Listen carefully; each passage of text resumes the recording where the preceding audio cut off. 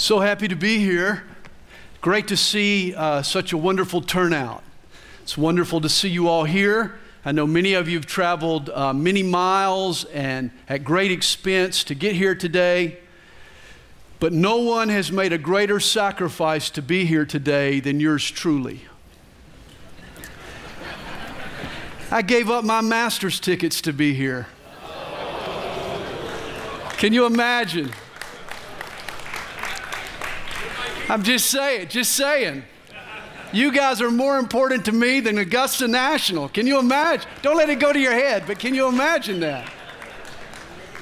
I'm going Thursday, though. Let's open our Bibles to 2 Corinthians.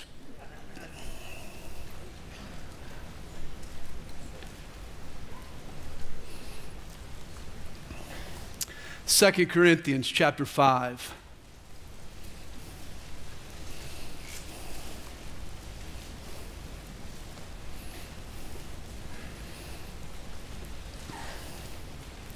Father, again, we ask for your blessing on not just this session, but all day today, the whole conference. Lord, we're here to meet with you to see what you might say to us.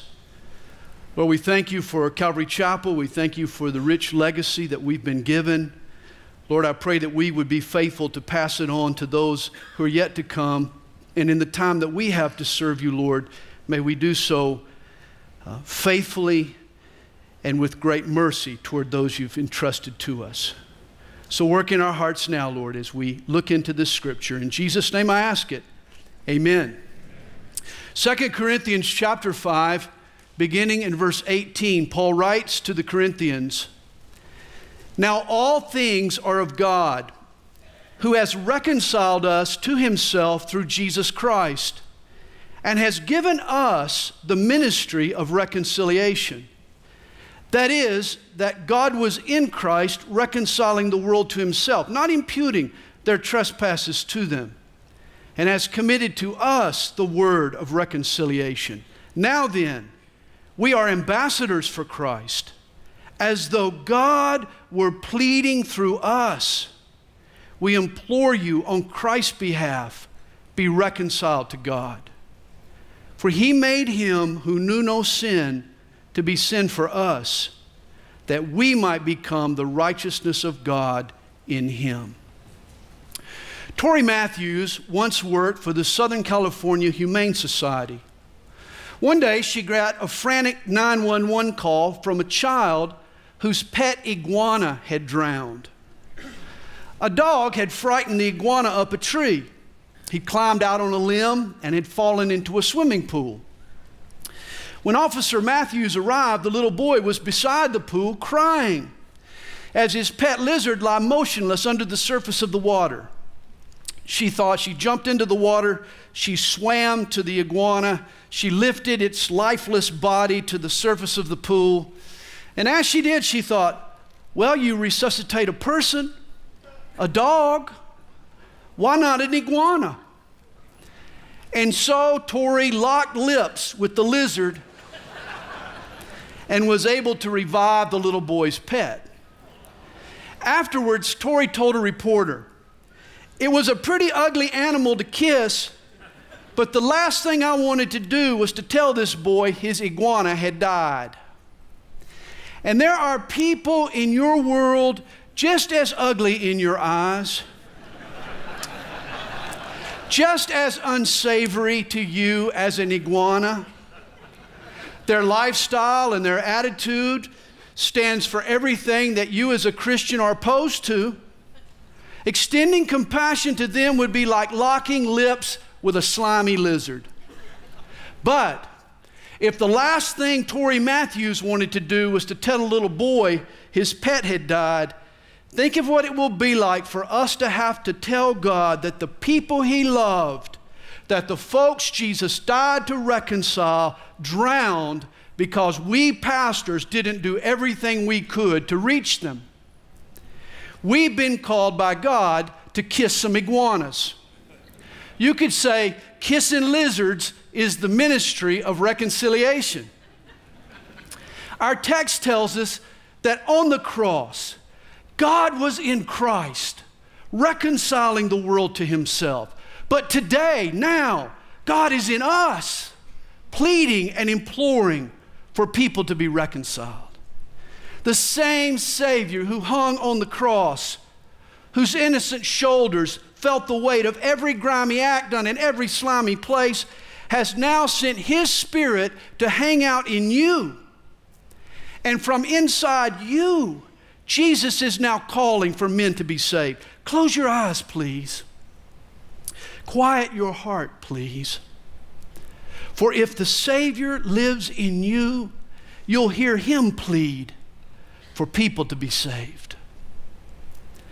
Jesus is no longer the lamb led to the slaughter who opened not his mouth. He is the indwelling Holy Spirit who now yearns for us to open our lips and give him a voice. Don't you realize Calvary changed everything? God buried the hatchet with sinners. Mercy has become available to everyone. Grace is now out there on the table. Boys and girls, it's reconciliation time. You, my friend, now have a vital ministry. Running for president or curing cancer or sending a rocket to Mars or saving the whales all pales in comparison. You can throw every ounce of strength you have. You can exhaust all your creative energy on this ministry and it would justify more. Nothing is as important. It was Vance Havner who once said, You can cut Christianity anywhere and it will bleed reconciliation. We have been given the awesome task of placing the hands of lost people into the nail scarred hands of our Savior, Jesus Christ. We are first and foremost ministers of reconciliation. Notice verse 20 makes it official our King Jesus has appointed us to a post in his administration. We are an ambassador for Christ. This means wherever you go, whoever you're with, you are His Majesty's ambassador. An ambassador is a spokesman for his homeland living in a foreign land. He or she represents the interests of home in the context of a different culture. An ambassador is a spokesperson for Jesus. Our citizenship is in heaven, but we're serving here on this earth in a foreign land. We're representing the will of our King. The church is his embassy. We are his divine diplomats. And two traits make for a good ambassador. First, he represents only the will of his sovereign. What he speaks isn't influenced by his own personal opinions or by the prejudices of the surrounding culture. He says only what his king would want him to say.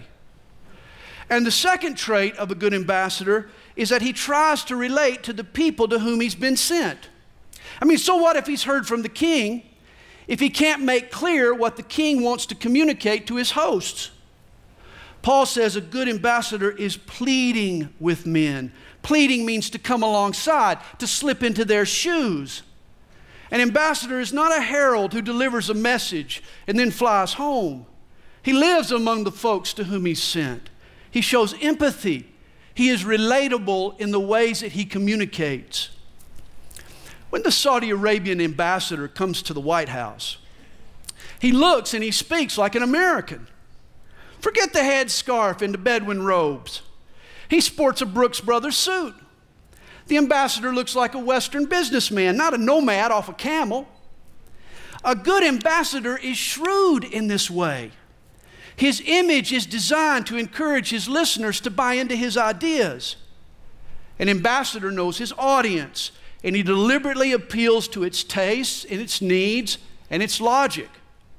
This is what made Jesus the ultimate ambassador. He was dispatched from his throne in heaven. He joined the human race. He came to identify and taste our plight. When Jesus spoke, it was only the words the Father gave him to say. But those words were always couched in ways that appealed to hungry hearts and that stirred up an interest in the minds of his listeners. The job of an ambassador is not just to represent heaven, It's more than just uttering cold, matter of fact proclamations. A good ambassador packages the will of heaven to appeal to men. He or she relates to the culture around them and makes the message clear, makes it attractive. An ambassador presents the truth, but in ways that increase the likelihood of its acceptance. This, of course, was Paul's diplomatic strategy. In 1 Corinthians 9, we're told, To the Jews I became a Jew, that I might win Jews. To those who are without law, as without law, that I might win those who are without law. To the weak I became as weak, that I might win the weak. I have become all things to all men, that I might by all means save some. Paul built bridges. Rather than push people away because they were different, he looked for ways to identify and to form a connection. While he was with his Jewish pals, he talked Torah. They ate kosher foods. While he was with the Gentiles, he talked about Greek philosophy, maybe even jawed about the Olympic Games. Paul wasn't deceitful, but he was flexible. He knew his audience, and he tried to find common ground. If needed, Paul would adjust his interests to reach his audience. He related culturally to reach out spiritually.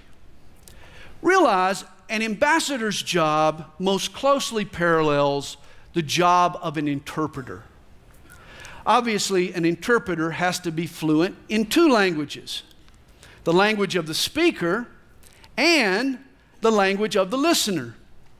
If he's deficient in one language or the other, the communication between the parties gets muddled. And as Christians, especially as pastors, we too are interpreters. It is our job to translate the truths of heaven into earthly vernacular. And to do this job effectively, we also have to be proficient in both languages. We have got to be articulate in the truths of heaven while also being fluent in the language of earth. Most importantly, we need to have a firm grasp on the language of heaven. How can we speak for God if we're not fluent in God's Word?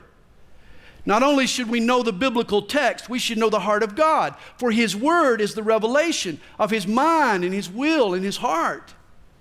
Do we understand God's intentions? Do we see life from His perspective? Do we preach with a prophetic voice, able to apply Scripture to contemporary issues as the Holy Spirit leads? We should be thoroughly biblical in our thinking and in our preaching. But we also have to speak the local language. I'm sure many of you have been overseas and you've taught through a translator. It's a humbling experience. For all of a sudden, your ability to communicate is now dependent on another person. And it doesn't matter how good your preaching might be that day, it will or won't hit its mark depending on the ability and fluency of the translator. And this is the case with all Christian ministry. Whether the teacher is knowledgeable is only part of the equation. He has to be able to communicate in a way that the people he's targeting will understand. I once read an excerpt from Pentecostal preacher Donald Gee. He was describing how ill suited some of his church members were in their efforts at witnessing. He wrote this It's possible to live such an otherworldly life, to get into an unearthly, abnormal condition where you may be very spiritual, but not a scrap of good as an interpreter. You've gotten out of touch with men. In other words, fluency in the language of heaven doesn't mean that you can speak the language of earth. Then Gee gives an example. I was attending a street meeting, listening to a fine young woman give her testimony. She was full of the Holy Spirit, on fire for God, had a real desire to win souls. But she was talking to a bunch of coal miners and drunkards and saying, Dear one's this and dear one's that. They were not dear ones by a long way. And they didn't like being called dear ones. You see, she had lived in the sugary sweet atmosphere of Pentecostal prayer meetings and had lost contact with the world. And this can happen to us. Pastors can live so separated from the world that we no longer relate to its language, and we end up estranged from the very folks we're trying to reach. The truth we hope to convey gets lost in translation. I've got a good illustration of what I'm talking about. It's a little lengthy, but I think it's worth the effort.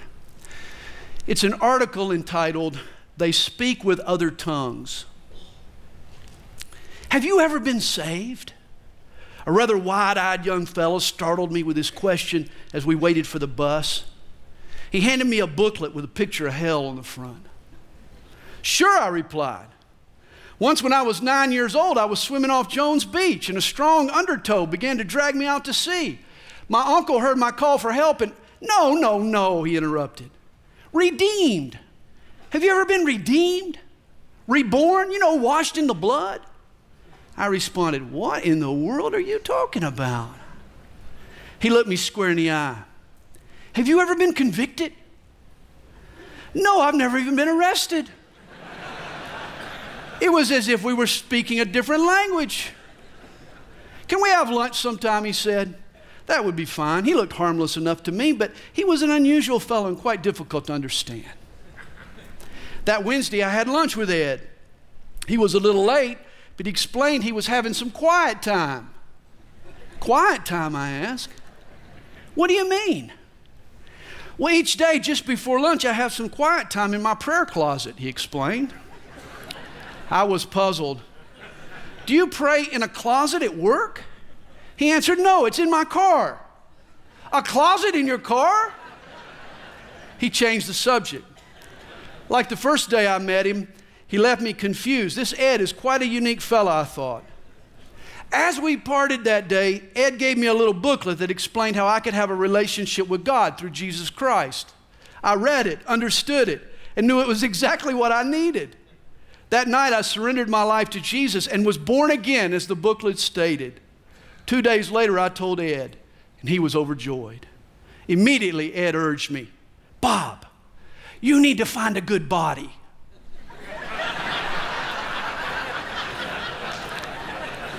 I was surprised at his suggestion, but it sounded like a good idea to me. I took Ed's advice and combed the local health clubs for an attractive woman. When I met Denise, I knew she was the one. We began the date, and she too became a believer. Ed was so excited. He told us both that it was crucial that we get planted. Sometimes it's hard to understand this guy, I confided to Denise. I told Ed I wasn't quite sure what he meant by planted. He replied, Committed. You both need to be committed now that you know Jesus. Wait a minute, I protested. Just because I don't know what planted means doesn't mean I'm nuts. Trust in Jesus is the most sane thing I've ever done. Ed's patience was, patience was growing thin. He continued to explain Bob and Denise, don't you get it? You need to get plugged in. No, it was pretty obvious we didn't get it. Well, I had to miss church the next Sunday, but Ed and I had breakfast on Monday morning, and he filled me in on what happened. God moved yesterday. He said with excitement, God really moved. Where is he now? I pleaded. I was just getting to know him. Now he's gone. Ed answered, No, no, Bob. God hasn't gone anywhere. I was so relieved. But Denise was at church, and boy, was she on fire. Fire? Denise got burned? What happened? Is she okay? No, Bob, Denise is fine. You just don't understand. That was an understatement, I thought. Ed sighed, Bob, can I walk in the light with you? Of course we can walk in the light. It's daytime, Ed. Well, it's been over two years since I was saved and convicted. Now I'm planted, committed, plugged in, and I found me a good body. God is moving. I've been getting to know Him, and Denise and I are still on fire. But I have developed one new problem. It seems all my old friends just don't understand me anymore.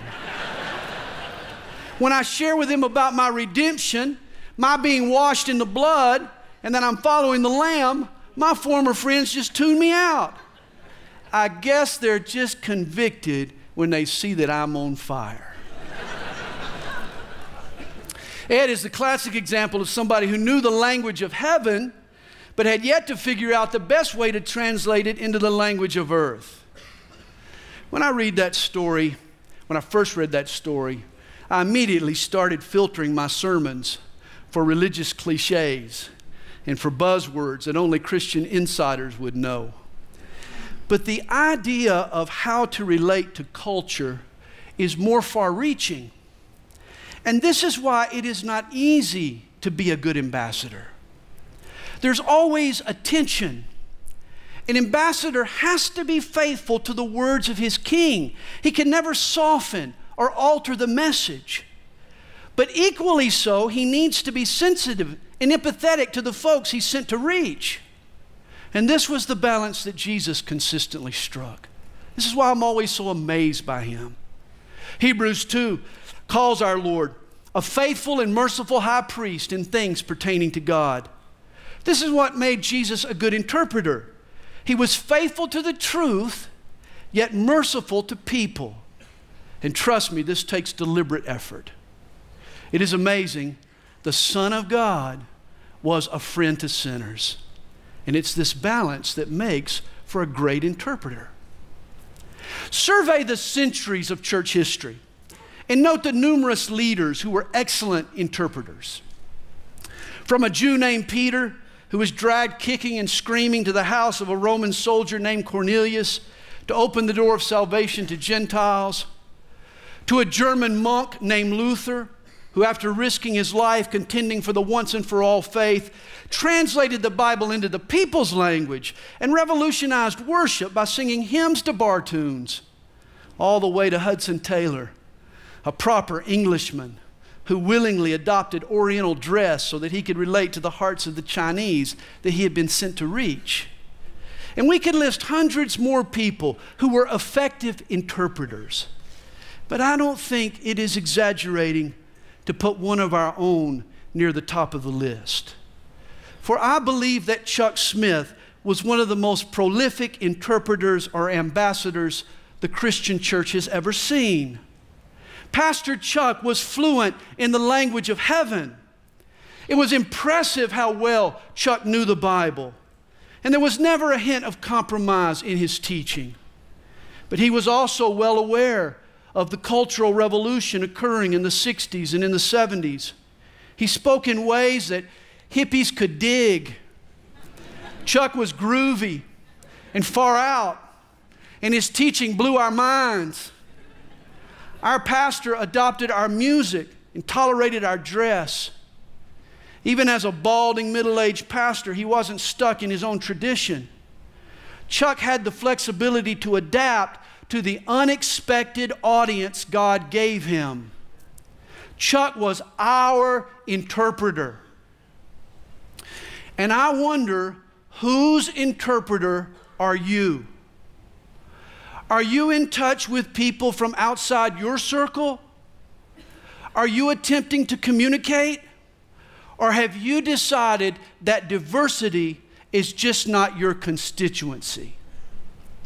Could it be that those of us who were so anti establishment at one point in our lives have now become the new establishment. Calvary Chapel pastors who abhorred the man made traditions of others have now been around long enough to form traditions of our own. Paul's command to walk in the Spirit and not in the flesh has no statute of limitations. Have any of our traditions become other people's barriers? I think it's a question worth asking.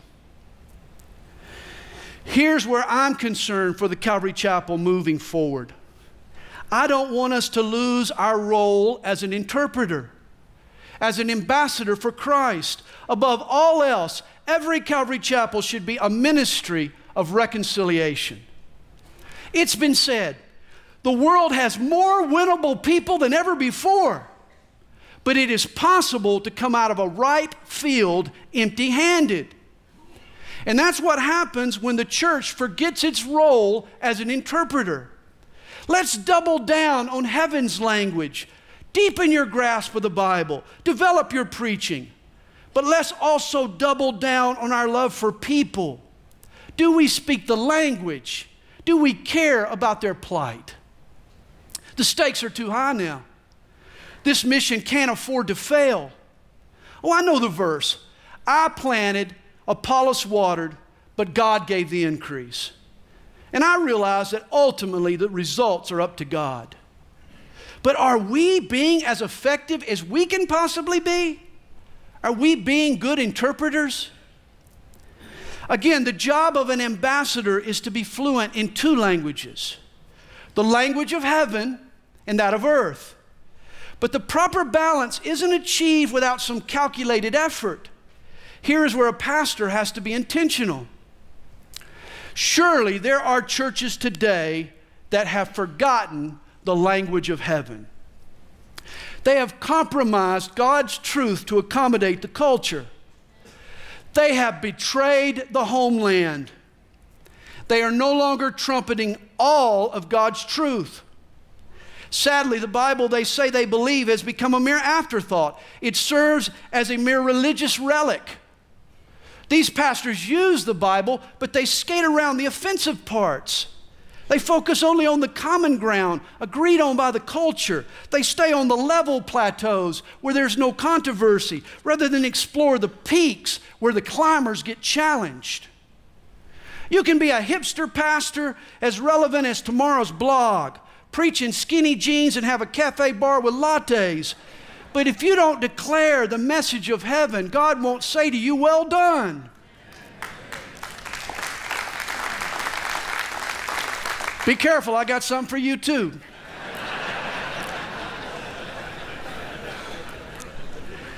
and let me take this one step further. As Calvary Chapel pastors, we have also been called to speak with an accent. Not mine, but, but an accent. When I became a Calvary Chapel, I not only agreed to speak the language of heaven, but to do so with a Calvary Chapel accent. And here's how I define it. Full of grace, full and full and overflowing with grace, dependent on and open to the power of the Holy Spirit, flavored with an expectancy of Christ's soon return, founded on an unequivocal commitment to teach the whole Bible, willing to let the Scripture itself set the agenda. And don't think for a second you have to compromise these distinctives to grow a church. We know better. I recall a secretary once saying of Pastor Chuck's ministry, it's strange that all these hippies are coming to hear the most theologically conservative pastor in town. The 1960s were a time of social upheaval. Yet Chuck and Kay modeled a biblical marriage. Chuck was the head of his home, and Kay submitted to his leadership. And this carried over into the church.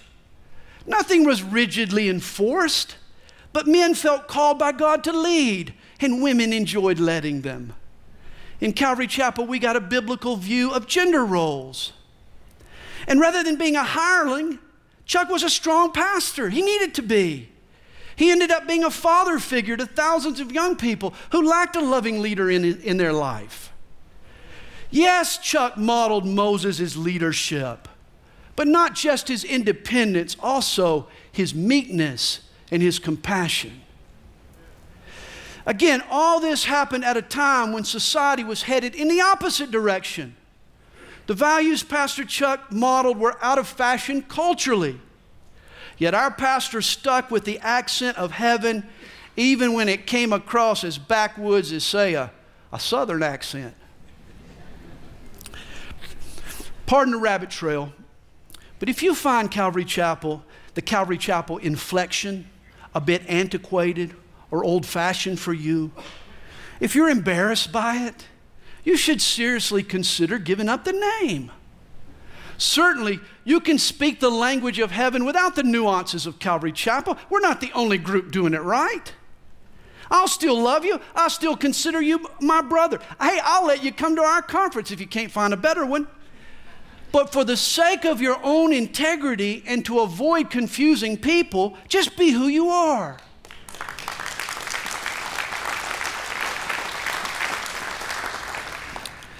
Usually, languages morph over time. Take English, for example. Have you ever actually read a 1611 King James Bible? You haven't because you can't.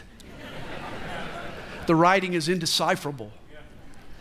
But the language of heaven never changes. God's word is as sure and certain today as when first written. Parts of the Old Testament may have a different application to us today than to the Hebrews of old, but it's no less beneficial.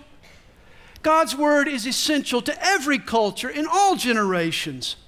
Let's stay committed to our legacy of teaching through the Bible. Don't be ashamed of it, get better at it. The Bible is the language of our homeland. When George, George Shultz served as the Secretary of State, he kept a large globe in his office. Whenever he met a U.S. ambassador, he would always give them a quiz. He'd tell them to go over to the globe and point to their country. Invariably, they would pick the nation to which they'd been sent. And that would give Shultz the opportunity to give them a vital lesson in diplomacy. He corrected them by pointing to America. Shultz wanted his foreign ambassadors to never forget the land where they lived was not their home. An ambassador's home is the land that he represents. And the same is true for an ambassador for Christ. As citizens of God's kingdom, let's be sure we represent him well. Well, some churches have neglected heaven's language, but others have forgotten how to speak the language of earth. They live in a bubble. Oh, to protect what good, what's good and godly, they've cut themselves off from the culture around them. Churches can get so ingrown, they end up alienated from the very people they want to reach. Here's why it's difficult to be a good ambassador for Christ it involves maintaining this proper tension. For churches, like people, love to go to extremes. Some no longer speak the language of heaven, they ignore the Bible and play movie clips on Sunday. Movie clips, life lessons from the movies or some other nonsense. Other churches, though, they study the Bible verse by verse, but without, without an eye on the culture. There's no prophetic voice addressing the real issues. You see, a good ambassador is fluent in both languages. Like all churches challenged by today's liberalism, Calvary Chapels also run the risk of forsaking heaven's language. But I think more so, our family is in danger of forgetting how to speak to the culture around us. So what if we understand accurately but stop speaking effectively? You can be articulate in God's word, but that's only part of the role of an interpreter. There are still people we've yet to reach. There are new generations to target. We have to remain fluent in the local language. 50 years is long enough to get lost in a time warp. Do we revel in the glory years? Do we hold on to the ground we've gained rather than target new territory?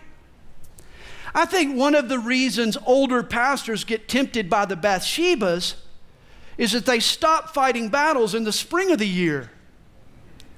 They minister as if it's autumn. They start winding down rather than gearing up. Like King David, it's now about consolidating gains and relishing old victories rather than risking new ventures of faith. Hey, with no more goals, there's no reason for vigilance. I'm sure it's justified to a degree, but could all the talk we've heard lately about succession plans for Calvary Chapel pastors in some cases just be an excuse for no vision? The prophet Joel doesn't say when we get older we should fade out. Old men will dream dreams. And dreaming a dream is even greater than a young man seeing a vision. Dreams are visions on steroids. the implementation of a dream takes the insights of a seasoned pastor. Pastor Chuck died with his boots on. I know it wasn't always pretty, there's something commendable to me about enduring to the end. All I'm saying is that at 27 or at 87, I want to be full of faith and vision. We certainly have to speak the language of heaven. We have nothing else to offer, folks. We need to speak the truth, the whole truth, and nothing but the truth. But it has to be done with a sensitivity and with a connectedness. I believe for some Calvary Chapel pastors, they need to re engage the culture. Has your congregation changed with the demographics of your neighborhood? Is the church you pastor growing older and younger at the same time? Rather than just sit back on the status quo, even if it's paying the bills, it might be good to ask some of those questions. Of course, re engaging the culture for some pastors might be as simple as just buying some paint and giving the sanctuary a facelift. Or lose the plastic ferns, man.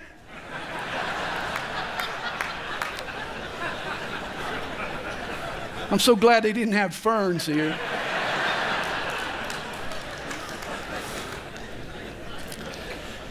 or replace the overhead projector and laminated song sheets with some computer generated graphics. The price has come down, by the way. or play a worship song written after 1980. I'm just saying a church's vision for connecting with a lost world can get lost in the bubble it creates for itself. At Calvary Chapel Stone Mountain, my wife has an eye for this. And she is constantly prodding me to update stuff. Honey, we just checked. You need to change it again. It's gotten old. And not just the facility, but our approach and our strategies. Friends, the message never changes. It is a changeless gospel, but we live in a changing world. I've pastored for 36 years, and the older I get, the stronger is the tendency to avoid change and rest on my laurels. Ah, what worked before will work again. But the Holy Spirit and Kathy Adams are always challenging me. Remember the seven last words of a dying church. We have always done it that way. Please understand why this is all so important to me personally. I didn't find Calvary Chapel until the late 1970s. That meant that I spent the 60s in southern churches among failed interpreters.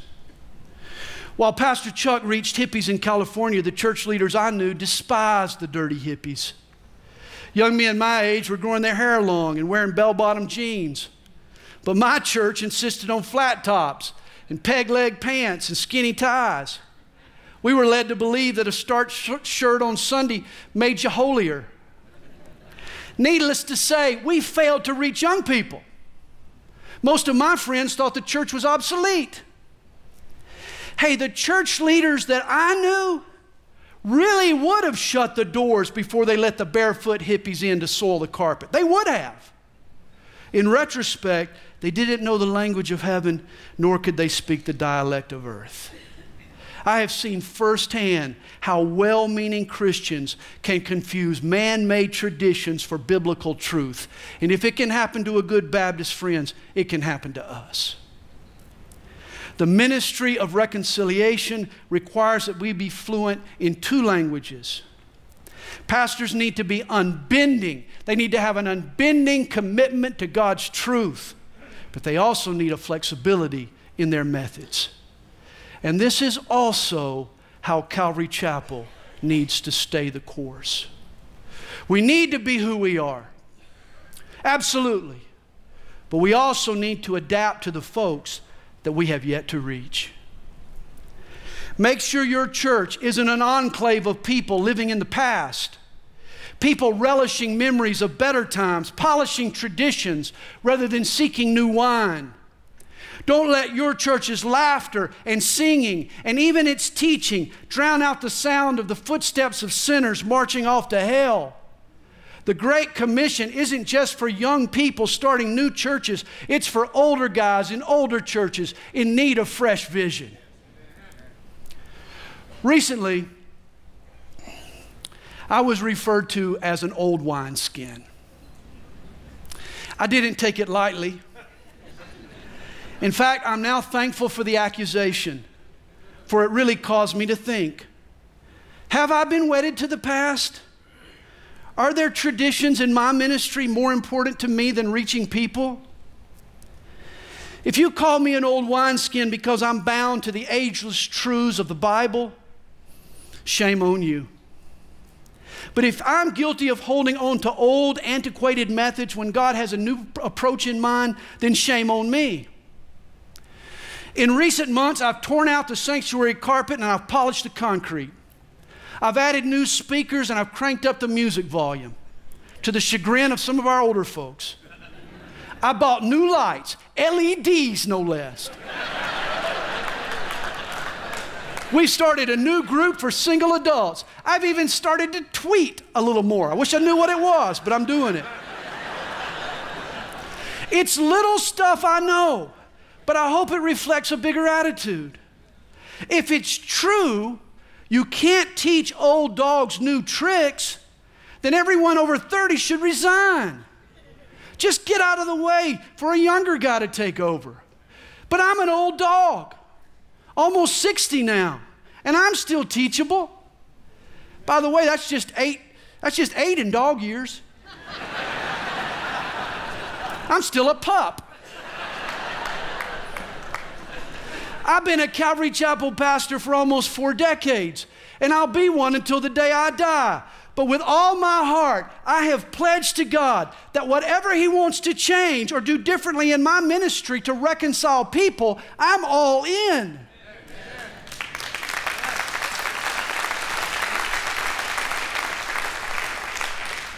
To me, that too is a big part of being a Calvary Chapel guy.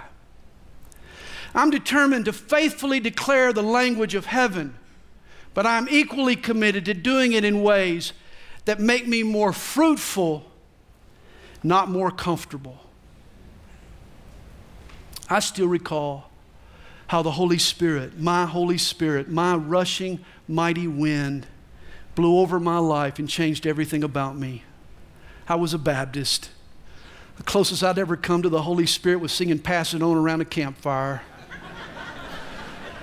But the Holy Spirit challenged my assumptions. I left what was safe. God jumped out of the box I had him in. God's call on my life was the call of the wild, and Calvary Chapel played a huge, huge part in that. And I long to stay open to fresh winds of the Holy Spirit. Again, this isn't just a goal for younger men. Don't forget, Chuck broke with his traditional moorings and heeded God's call in his middle years. Following Jesus takes a childlike attitude regardless of your age. A Christian's posture should always be forward, not backward. As Paul said, we press toward the mark of the prize of the high calling of God in Christ Jesus. Often an ambassador walks a tightrope.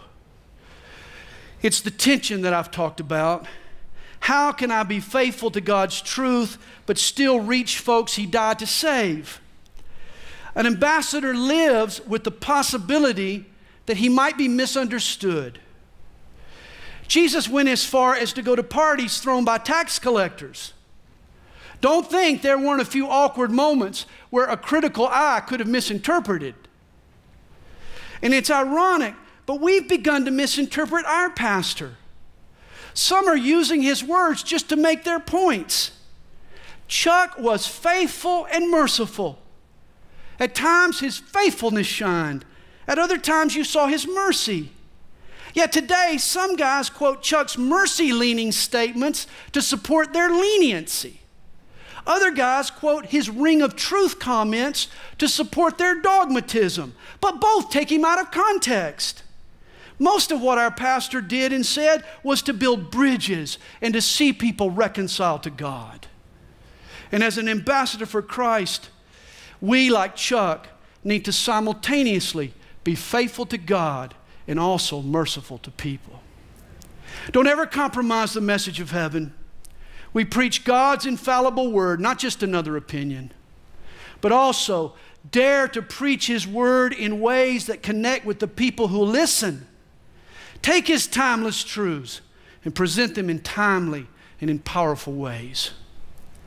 Let me close with a challenging quote.